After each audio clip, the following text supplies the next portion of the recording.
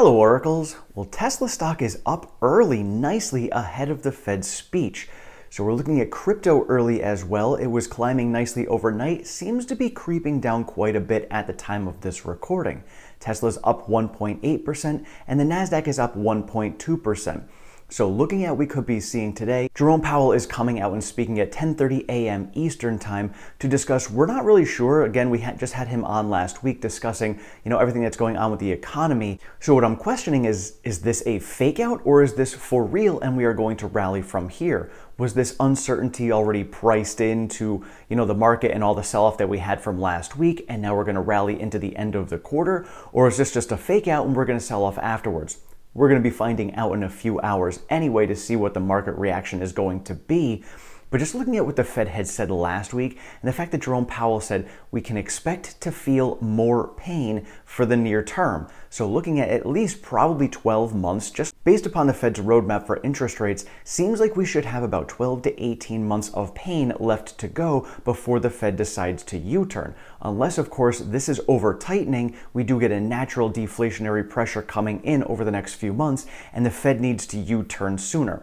We won't know this until we get to the end of the year, but based upon what the Fed has told us, this is what we could expect. So this is how I'm basically planning. And again, I always plan for the worst and hope for the best. So I'm planning for 12 to 18 months more of pain, but I'm hoping that maybe the Fed is over tightening and they're going to have to U-turn sooner. Now, one of the questions I came up with last night for myself was the Fed has been saying that their monetary policies and raising interest rates take a few months to take effect in the economy we have already seen two quarters of negative GDP. So Jerome Powell has said that they're looking to intentionally slow down the economy by tightening the way they are. So now I'm asking, all right, well, they've already tightened as much as they have. They do plan on tightening more. We are already at a negative GDP. How do they intend to get us to a positive 0.2% GDP by the end of the year if they continue tightening as they are? You guys can let me know in the comments below what you think about that, but like how could we possibly get ourselves to a positive GDP with more tightening when Jerome Powell has said that tightening is going to slow down the economy? I'm not a macroeconomist. I don't know these things. Maybe one of you guys do have the answer as to how that could play out. So please let us know. But I don't see how they could possibly do this without causing a further recession. This is what we saw with Paul Volcker back in the early 80s. You crank up interest rates super high, you intentionally cause a recession to slow down the economy. So if we're already in a negative GDP, which is a technical recession, how could we possibly go positive with further tightening? And this question alone, along with Jerome Powell telling us that we could expect to feel more pain in the near term, tells me that the rally that we are seeing this morning is really just a manipulation rally of some sort. So I don't think it's going to be a true rally. I've had many people ask in the comments, you know, what do I think is going to be the new rally? When do I think that we are actually going to turn around for real?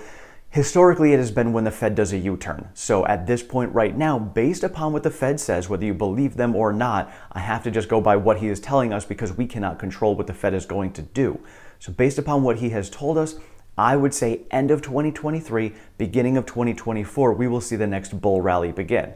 Now, again, if the Fed does end up over tightening and they need to U turn sooner, that bull market could start before then. And don't forget that the market always looks six months ahead as well. So, usually six months before the Fed does that U turn, the market's going to anticipate that, and we could probably see it climbing at that point. And so now the next question is Have we already hit the bottom? Well, we don't know. Again, we have to see how this is. And one of the things that we had mentioned earlier in the year is when we do end up climbing out of this, we may not know for six months that we did hit the bottom. So currently, right now, late May to early June was the bottom for Tesla stock. So right now, that's kind of what I'm thinking. Are we going to pull down to those levels? Chances are no, but you never know. I mean, if we pull down to those levels again, that's $207. I have heard from some people thinking that we could pull back down to those levels. I truly don't know. Just based upon the charts, we have the gap at 247, so I'll follow that one with the rally we have going on this morning. Maybe we did hit the bottom of the near term of the 275 and we come back up. Tonight, again, I'm going to go over the charts in a live stream. So if you guys want to join me there, I'll show you the kind of patterns that I'm seeing going on, which are kind of leading me to believe that this is going to be just kind of a fake rally that we see today. Not really sure. Again, no one knows the future, but the way I'm looking at it is I have some buys that are put in lower to be able to add more for less. So that's what I'm paying attention to. And again, long term, none of this really matters. Anytime you buy between whatever prices you're going to buy it, whether it's 200, 250, 300, Long term, it's truly not going to matter. I just do this because I want to buy more for less because I do not have a lot in my portfolio. And now, one of the next concerns I know many people have is well, if the Fed is pushing us in the direction of a deeper recession, how is Tesla going to handle this? Well, don't forget, when it comes to recessions, pricing power is going to rule the day. Tesla dominates when it comes to pricing power. So when we get to the time where, you know, there's less money in the economy, less people who can afford the vehicles, you're going to think, well, Tesla's got a higher priced vehicle, who's going to buy them?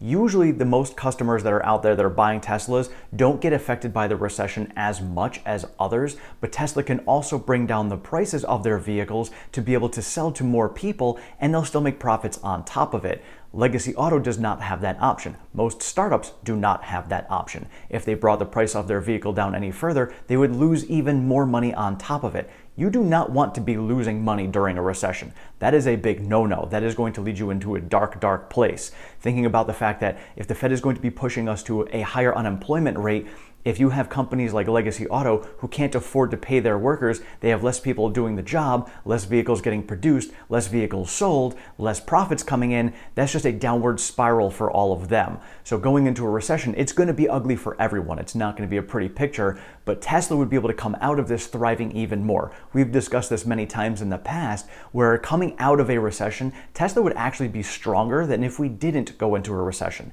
Tesla's going to come out strong either way, in my opinion. I think Tesla could just come out even stronger with a recession just because of the fact that there won't be as many people competing with them because they're going to end up going bankrupt. We are already getting discussions about zombie companies, and zombie companies are companies that are out there that aren't making any profits and they can't even pay their bills off, you know, when it comes to just the interest rate on all of their loans. So if companies cannot do that, they are considered a zombie company. That usually happens in a recession. That's what we saw back in the 2008 and 2009 housing recession. We saw a lot of that going on. We saw a lot of that going on in the dot com bubble. Times like this are actually good because it kind of thins out a bunch of companies that really shouldn't be companies anymore. So, whether legacy automotive companies or whether startups are going to end up going into that zombie category, I don't know. But going into that time right now, looking at that's just starting to happen, we've seen the PE compression going on. We are going to be seeing earnings compression going on over the next couple of quarters. Tesla could be weathering this one better than everyone else.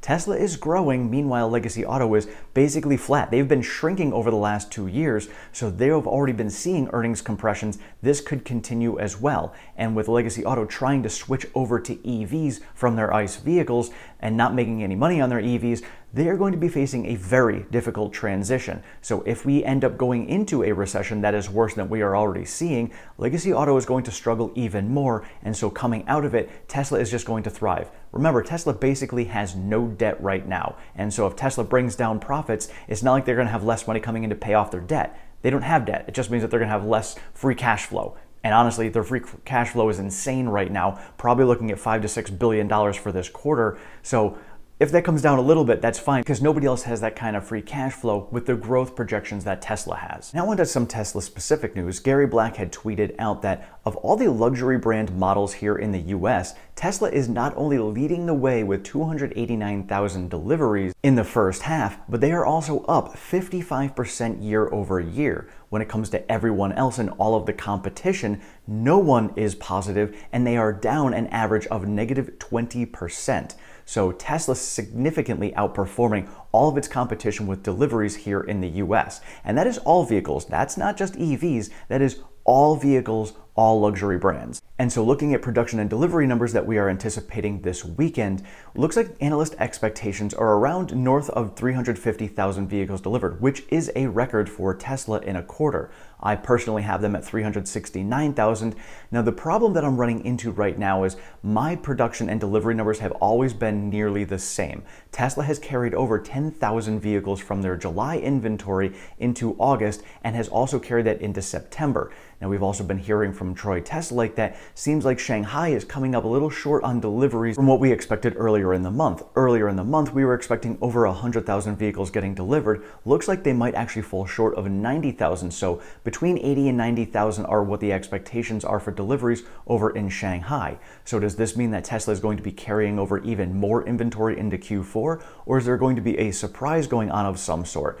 Not really sure. We're going to find out this weekend most likely. You guys can let me know in the comments below what you think. I will be doing a full production and delivery breakdown uh, video later on this week to go over all the numbers that I can foresee that's going on. So guys can feel free to share in the comments below and I'll discuss all of those as well. But I think this weekend and, and looking at the stock price movements going into this weekend, I'm not sure if we're going to see uncertainty or if we're going to see a run up into the weekend based upon some of the rumors.